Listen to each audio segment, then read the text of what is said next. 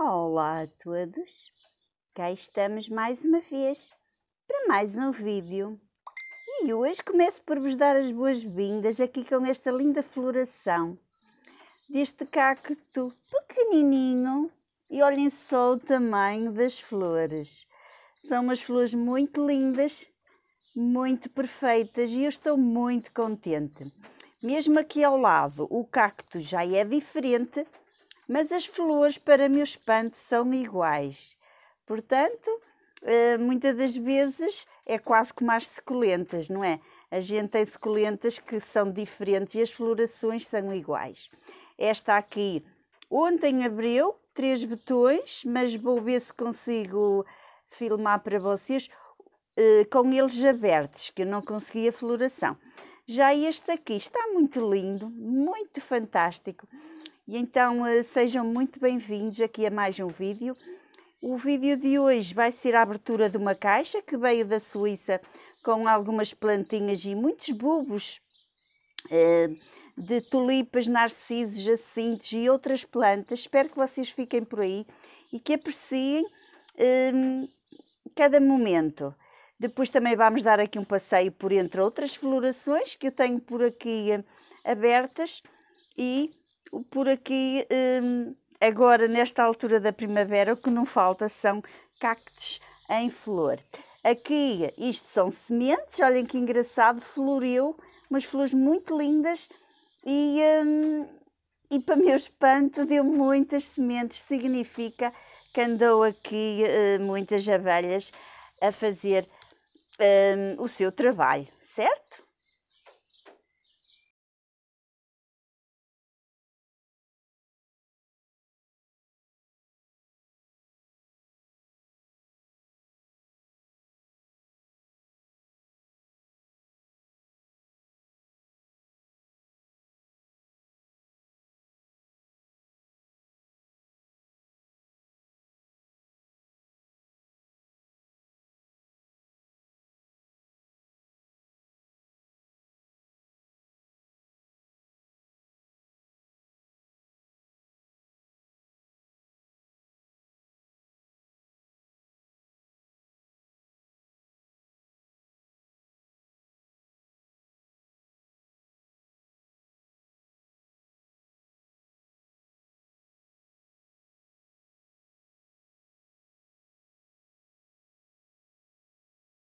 Vamos dar aqui uma vista de olhos em algumas florações que eu tenho aqui em alguns cactos.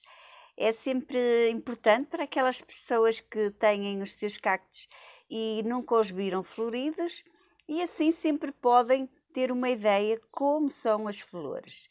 Neste caso, esta robútia hum, é, uma, é uma robútia pequena que ela tinha-me ganhado aqui uma camada meio acinzentada que eu ainda não consigo explicar uh, o porquê, mas mesmo assim ela tem tido umas lindas flores. São umas flores cor de laranja, muito grandes em relação ao cacto, e esta é mais uma das cores que hum, eu tenho abertas por aqui. Também aqui um cacto muito pequeno, que foi uma amiga minha que me deu este rabinho, que é pequenininha, eh, mas também abriu flor este ano. Este é aquele cacto que eu sempre fico admirada com a, eh, a floração dele, porque é um cacto realmente muito pequenino, no qual dá umas flores até bem grandinhas para o seu tamanho. E tem sido por aqui eh, sempre muitas florações nos meus cactos, Aqui também a Echeveria moron também está com hastes florais. Já são assim umas florzinhas um bocadinho mais comuns, mas vamos continuar ali, que eu tenho ali uma outra floração. Este gimonocalício, um, apesar de ter sentido ali um, umas rachadelas numa mudança de cor, mesmo assim eles florescem. Eu penso que de certa forma será uma defesa para eles dar continuidade à sua espécie, digo eu, porque não é? Eh, a natureza é muito sábia e muitas das vezes as plantas, quando estão a sentir-se doentes, eh, elas de alguma forma arranjam algumas formas de se manterem uh, com, não é, vivas para poderem propagar a sua espécie. E eu penso que dando flores, depois irão, não é, muitas das vezes dar sementes e assim poder dar continuidade um, à sua espécie. Aqui já temos outras flores, que neste caso é uma bela floração. Um, eu também não sei muito bem o nome deste cacto, uh, só sei que ele dá, eu penso que deve ser das lobovias, penso que deve ser dessa espécie. E também tem umas flores muito bonitas que ainda não estão completamente abertas, que é são assim um amarelo torrado, muito bonitas mesmo. As flores provavelmente irão abrir mais ainda, mas já dá para vocês terem uma ideia hum, como são umas flores bonitas. Este é o cacto que vocês estão aí a ver ao lado e hum, acho muito bonito nesta altura das florações. Por aqui também vamos ter mais flores e também tenho aqui flores neste cacto que aparentemente ele estaria doente. São umas flores amarelas, lindíssimas, perfeitas, coisa que não está o cacto. O cacto está com aquele tom marrom, assim uma cor eh, feia até, se formos a ver, mas mesmo assim ele tem muitos botões para florir. E aqui uma linda floração em amarelo, desta, eu penso que deve ser uh, lobovias, e, um, e aqui ao lado esta aqui também, que eu já tive a oportunidade de vos mostrar floridas. Agora, perdi a floração deste, para minha pena, ou será que eu cheguei a mostrar-vos? Uh, acho que filmei para vocês.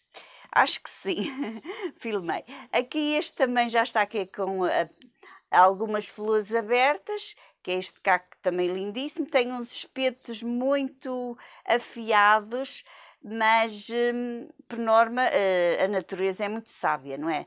Estes espinhos provavelmente existem para que as plantas se defendam de hum, não é? De, dos inimigos, neste caso de, dos animais que queiram hum, não é? Comer os na natureza, digo eu. Mas olhem, ele vai dar muitas flores, porque ele está está cheio de betões e depois eu mostro melhor. Aqui as grenóvias já estão praticamente, não é, em dormência, olha que lindas, naquele formato de, de rosinhas. E pronto, por aqui anda sempre um ou outro cacto florido, aqui a mesma coisa que já vos falei. Aqui este cacto tem aqui uma película acinzentada, mas olha, estou a descascá-lo e ele por baixo está verde. Eu penso que isto deve ser alguma coisa que eles apanham. Também vai dar umas lindas flores grandes, mas isso vai ficar para outra altura. E aqui também temos aqui uma bela croa de flores. Estão a ver, aliás, duas belas croas de flores. E por aqui vai. Tenho andado aqui a fazer alguns replantes em algumas das minhas plantinhas. Estas foram umas velas que eu fiz umas decapitações Aqui este senécido, o escaposo, está muito bonito também. Este aqui estava praticamente xuxito, mas olhem, eh, eu meti-o num sítio onde e aumentei a rega e ele normalmente ficou bem gordinho de novo. E pronto, por aqui os meus aónios também continuam bonitos. Este aqui é o é o Medusa, está bem bonito. Já à altura que a gente começa a. Eu tenho metido por aqui de prevenção um, remédio para as cochonilhas, porque com o, o tempo quente elas começam a querer atacar. Este é um outro também, que este é o Black King, que diminuiu um bocadinho o tamanho da roseta, uh, não sei porquê. Eu também comprei o sem raiz, mas eu penso que ele que já deve estar com raiz, porque ele cresceu um bocadinho. E cá está, muito, muito bonitos. Este também está muito bonito. Estão a ver? É assim, são várias espécies que eu tenho. Este é uma Marinier Lapostelle um, variegata. Mas olha, levando aqui este solinho, este é um e este é outro. Uh, fica realmente encantador este tom cor-de-rosa. Aqui são as setosas, também, é, esta é a menor, que já deram flor, eu já cortei as flores porque isto, os pulgões este ano realmente andam possuídos. E pronto, cá está. Este aqui espero bem que não vá a florir, porque as flores este ano nos jaónios têm-me dado aqui um bocado de dor de cabeça, porque as flores são muito bonitas, mas no que pega a perder as rosetas, também não é lá muito agradável, principalmente nestes que são assim um bocadinho mais especiais. Aqui é uma roseta que também já fui à vida e, uh, e de resto tenho ali uns outros que também perdi por completo. Por exemplo, este aqui, que era o meu orgulho, que era um aónio espetacular, que era o, um, o uh, como é que é? Aquele da madeira, como é que se chama? Um, ele floriu por completo. Uh, fiquei muito triste, porque eu acho que eu vou perder. Ele estava qualquer coisa de anormal em termos de beleza. E de repente eu achava que isto era um monte de um monte de, de mudinhas e isto virou completamente flores. Uh, paciência, olha, se não bingar, pode ser que ali, que até venha a, a dar algumas mudinhas. É o glutinóceos da madeira. Era uma, uma, um aónio muito grande, uh, no qual ele decidiu que queria florir.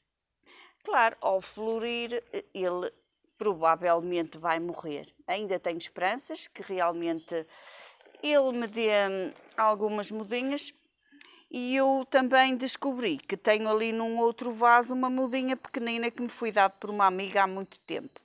Por isso, é destas coisas jaónias, muitas das vezes a gente compra um, aqueles muito caros, que não é o meu caso, que eu não os compro, e pode acontecer isto. Os jaónios dão flor no centro e a maior parte das vezes dão bebés, mas outras vezes não dão. E pronto, é só um exemplar que aconteceu aqui, hum, eu eh, praticamente acho que eu vou perder, mas paciência, sei lá vi, tá? Ora então agora vamos abrir a caixa que veio da Suíça com bulbos de várias plantas, de narcisos, jacintos, muitas tulipas, alguns lírios e outras espécies que fui encontrando uh, no jardim do meu irmão. Os pezinhos de rosa já estão plantados. Um, e então vamos lá ver como é que eles estão. Aqui as plantinhas, aqui os bulbos, tiveram 10 dias fechados dentro da caixa, mas vamos torcer para que esteja tudo bem. Uh, não são suculentas, mas eu tive pedidos de pessoas que me disseram que gostavam de ver a, a abertura da caixa. Isto vai ser também uma surpresa para mim, porque eu não sei como é que eles estão, porque eles foram retirados da terra uh, num dia de muita chuva lá. E é claro, as plantas molhadas numa caixa fechada uh, não é muito bom. Mas prontos, vamos cá ver como é que isto está. Olha, eu trouxe sempre vivos que estão estilados. À partida estou aqui a ver que estão um bocadinho estilados, mas um bocadinho é como quem diz, estão muito estilados, coitadinhos. Mas pronto, isto aqui são. Hum, este aqui é só de um sítio que eu retirei uh, lá, este, estes bulbos aqui um, são uh, os narcisos. Isto estava, uh, tinha lá, sei lá, eu não sei quantos é que tem aqui, mas tem aqui para aí uns 30 e, uh, e ficaram lá para aí 200, porque aquilo é um jardim muito grande que tem muitas espécies de, de plantas. E aqui, agora, vamos cá ver como é que anda aqui as coisas aqui para dentro. Ai, meu Deus, meu Deus, meu Deus. Olha isto aqui. Que é que é isto? Ah, coitadinhas, elas até deram flor dentro da caixa. Isto aqui dá umas flores, este tinha não abriu, mas isto é uma, uma cepa, é um, um bulbo, estão a ver? Que dá umas flores maravilhosas. E eu trouxe aqui com um botão, estão a ver? Um, mas eh, não sei se vou ver a flor aberta. Mas pronto, trouxe dois destes que dá umas flores maravilhosas. Aqui estas ramas estão sentidas. Olhem aqui as tulipas. Não, isto são jacintos. Olhem só que bulbos tão grandes de jacintos. Isto é uma, uma outra espécie que fica também na terra. Tudo isto são plantas que ficam eh, na terra de um ano para outro. E depois temos aqui, espera aí, o que é que nós temos aqui mais? Muita coisa. Outra planta igual à anterior, coitadinha. Outra, estão a ver a, a cepa grande que é. é. Claro que já não, com certeza que não vou ver flores este ano, mas vou plantar no meu jardim, com certeza que para o ano vou, vou ver. Depois, isto aqui também é uma cepa, é um, de umas plantas muito lindas que lá tinham também, que depois vai tudo para debaixo da terra. A minha preocupação era esta saca, que tem uh, as flores de cor de laranja. Ai, coitadinhas, como elas aqui estão. Vamos cá ver. Olha, mas estão bem.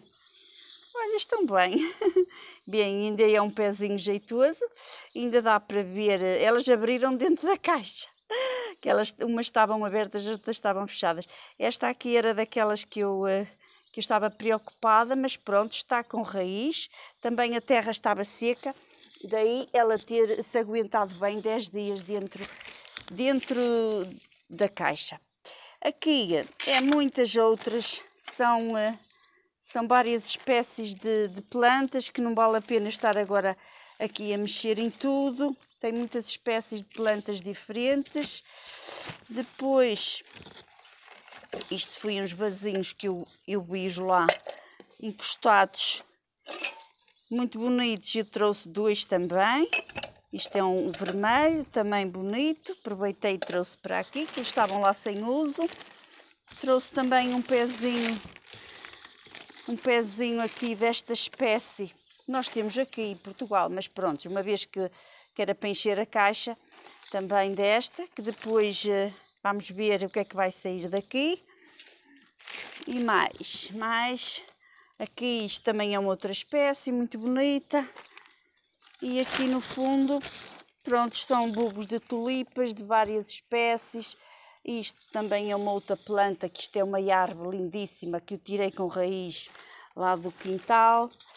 Depois, olhem, eu não sei como é que isto depois vai.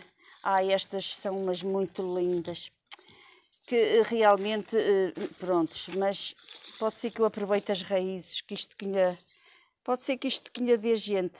Mas olha, isto é lá conhecido como a flor de maio que é uma flor eh, que eles lá festejam o, o, mês de maio, dá umas flores muito lindas e eu trouxe uns poucos de pezinhos para mim. Depois isto é uma roseira também que eu encontrei lá com raiz, estão a ver? Trouxe, vamos lá ver se ela se aguenta. E pronto, meus queridos, é assim um bocadinho das, das coisas que eu trouxe uh, e de termos de bulbos da Suíça. Agora é só plantar isto tudo e, eh, e esperar que para o ano eu possa vos presentear com novas espécies de flores aqui em minha casa, está bem? Espero que vocês tenham gostado. Olhem, voltando aqui, que eu esqueci-me de falar dos cuidados dos bulbos. Um, tem pessoas que deixam-nos ficar na terra todo o ano, uh, mas também correm sempre o risco dos ratos comerem, não é? Um, e também a minha irmã disse-me que tem lá vizinhas que chega agora a esta altura, depois da floração, tiram-nos todos da terra, metem-nos a secar assim num sítio um, onde seja fresco, depois metem-nos assim apousados em cima da areia ou de um bocadinho de terra, limpam-nos e depois voltam a enterrá-los em setembro. E todos os anos eles têm sempre lá tudo cheio de, de florações de, das tulipas. Fiz a contagem, uh, neste prato tenho aqui cerca de 36 tulipas, neste, nesta bandeja tenho aqui cerca de 110 bulbos de tulipas. Uh, e olhem que não é preciso eles estarem muito grandes para florirem. que eu até fiquei admirada. Aqui tinha uma tulipa e é um bulbo pequenino.